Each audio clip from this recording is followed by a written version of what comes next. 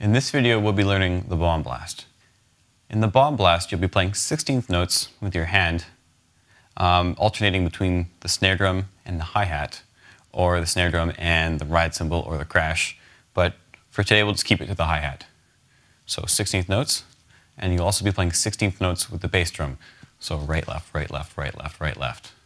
And so we'll start off with our first, uh, our first variation.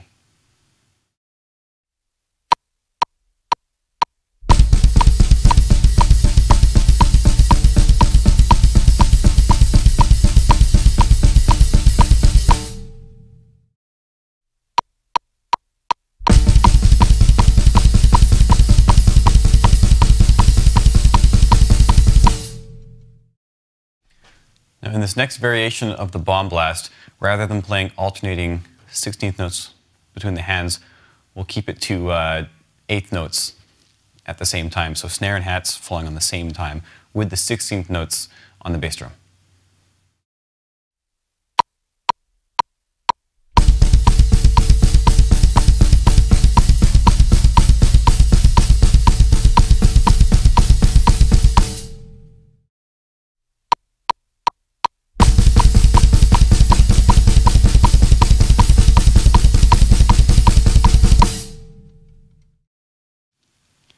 Now in this last variation of the bomb blast, it's going to be similar to a traditional blast, which is hat, snare, hat, snare, or ride, snare, ride, snare, with 16th notes on the kicks underneath.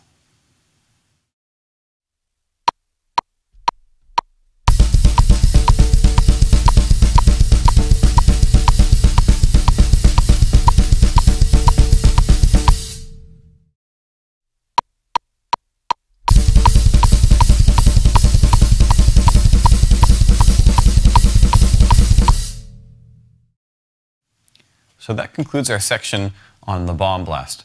Um, now I'm going to demo the bomb blast for you with a play along available in the resources section and in a link um, below the screen.